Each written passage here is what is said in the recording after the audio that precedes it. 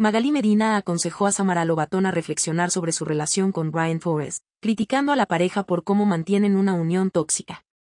La conductora de espectáculos señaló que lo mejor para Samara es darse cuenta que una relación no tiene por qué ser agresiva y controladora.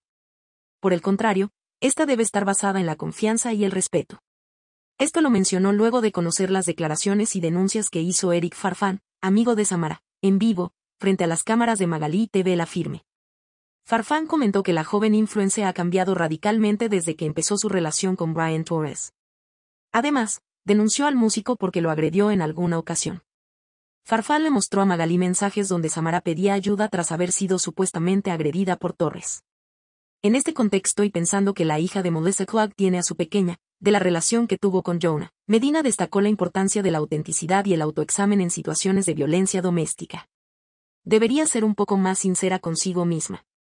Samara es una chica joven y tendría que llamarse la atención a sí misma de por qué está teniendo una relación agresiva, con un hombre controlador, con un celoso que no la deja desarrollarse bien. Tiene una hija que necesita vivir en un ambiente sano, no en uno tan intoxicado como este donde la agresión parece ser el plato favorito de la mesa de todos los días, comentó Magalí Medina. Magalí y las palabras hacia Samara Lobatón.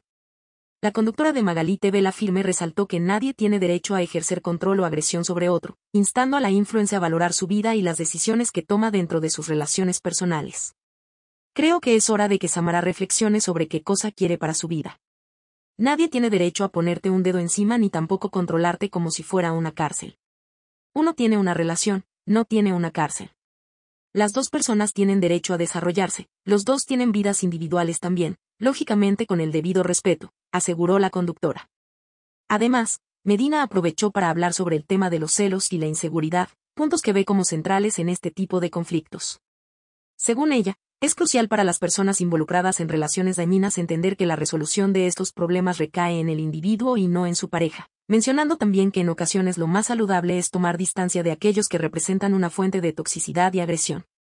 Los celos provienen de inseguridades que nadie va a resolver en la otra persona, son ellos mismos los que tienen que resolver todo lo que les funciona mal en la cabeza, pero uno no está ahí para hacer de psicoterapeuta de nadie. A veces lo más sano, aunque duela, aunque cueste, es alejarse de ese tipo de personas. El hombre que te pone la mano encima la primera vez que te pone un dedo encima te vas, te vas de la relación, dijo la popular, Urraca, dejando en clara su postura. Las conductas violentas de Brian Torres. En su último programa, Magalí Medina, además de mostrar la denuncia pública que hizo Eric Flores, también mostró evidencia de otra denuncia que le realizó la madre de la hija mayor del cantante, Paola Ampuero, también por conductas y agresiones físicas y psicológicas. Además, recordó que ya ha sido vista, públicamente, en dos fuertes discusiones en la calles, con agresiones y persecuciones que se dan entre la pareja.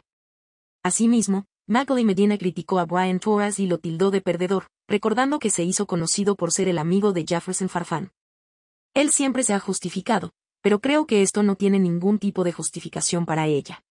Una pena que una chica tan joven esté con alguien, además, un tipo que es un perdedor, siempre fue conocido solo como el chupe de Jefferson Farfán, puntualizó Magalí Medina.